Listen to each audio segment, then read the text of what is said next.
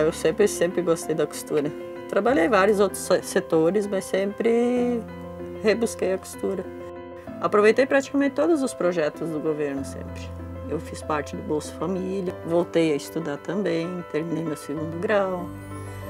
Fiz depois o curso do Pronatec, quando veio uma renovação do Bolsa Família. E aí, então, foi muito bom para mim aprender a construir, sabe, o desenho também do meu trabalho.